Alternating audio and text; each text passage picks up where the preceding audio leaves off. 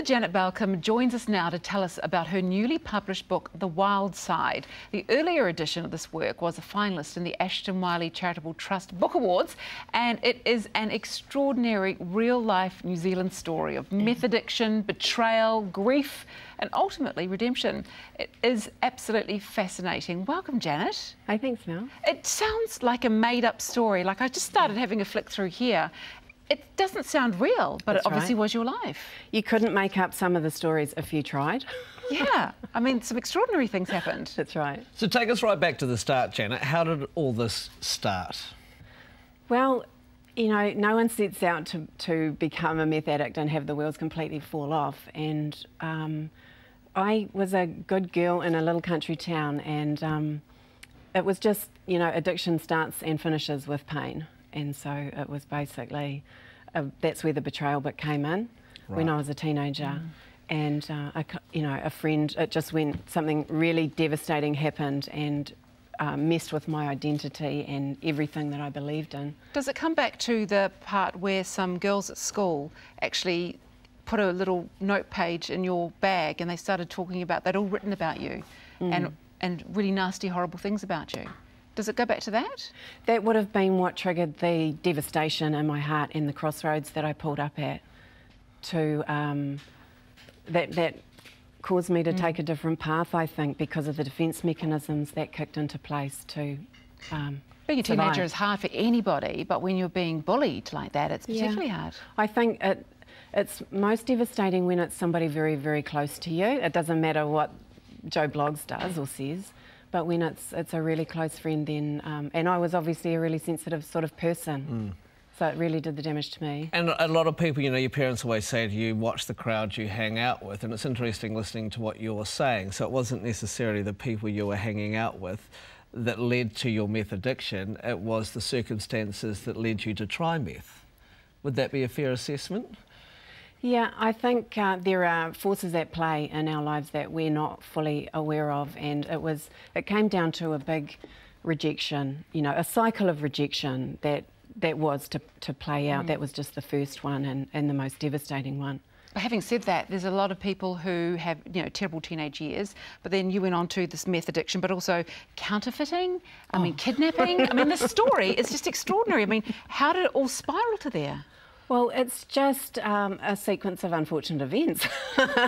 it's just a misunderstanding.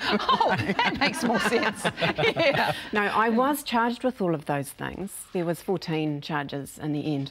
At the end of the day, only one charge stuck, and that was the kidnapping. Mm. Um, but I was really guilty by association, and so what the cops do is they charge the girlfriend with all of the things that the guy's been charged with to make him fess up and go, oh no, it was me, I'm guilty of everything, take, take the rap off her. And it does work, and so that's sort of why it just looks so dramatic. But um, I mean, the counterfeiting wasn't even my ex, that was somebody else again, but it was under mm. our roof and mm. it wasn't a real huge operation. It was just a, a few tests that, that, looked quite good. And you, you not when the cops turned up. You, you managed to come out the other side, which is great. How did you know you weren't, you weren't in a good place? Was there a sign? Did something happen where you went, I've got to get out of this situation? How do I do it? Uh, no, you know, I, I suppose 10 years into it, there was one point when I was in the tattoo studio and I was really at a low ebb. It wasn't the bottom because it took me another 18 years to hit the actual bottom, but there was a moment of clarity that I had where I went, oh my goodness, look at what I've become. I was wow. sitting on the floor with rat's tails, absolutely a, like skin and bone and paranoid, bordering on psychotic. And I actually yeah. saw myself and I went, wow, I've lost my home, my, my flat, my job, my car, and uh, I was a shell of a person. And I thought, I want to change, but but there was just such a long journey ahead of me. So you've been clean now for 24 years or so. Uh, you wrote the book in 2014, but you've re-released it with some additional stories. What made you want to re republish? It's just been a, a, a real baby of mine, and I, I think it, I just had to keep keep working on it until it was at the level where it needed to be, where I was happy with it. and um, now I'm really happy with it. It's got a new name, it's got a new cover, it's got a new story in the beginning, which is that foundational story we talked about, which mm wasn't in the previous uh, right. version, and it's got a photo gallery at the back. And something I, I love that you do with this book is you give it to prisons, is that correct? Yes, we do, and it. Um, it's just so well received in there. It's, there's a captive audience. Literally, yeah. No, and you want to help though, which is great, you know. And people can read this book, they can learn from your experience, and they can shake their heads and go, "Did that really happen?" Because it's like a movie.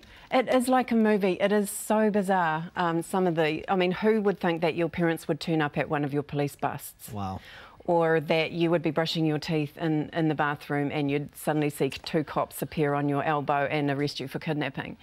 Um, oh, look, you've told, you've told me enough. Don't spoil it anymore. Go and get this book. Janet Balcombe. thank you so much. The, the book, The Wild Side, is available both at bookstores and online. And thanks for joining us today, sharing a story. Yeah, Really appreciate you. it.